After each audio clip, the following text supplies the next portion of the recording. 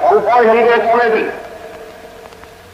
영의적 인민군 장병들과 남녀 가지생들, 용감한 중국인민지원군 강경들, 수많은 동지들, 지난 7월 27일 10시에 박문동에서는 조선인민군과 중국인민지원군 과표들을 일반으로 하고 이 대국주의자들을 위수로 한 무력 침공군 과표들을 타방으로 하여 정전협정이 체결되었습니다.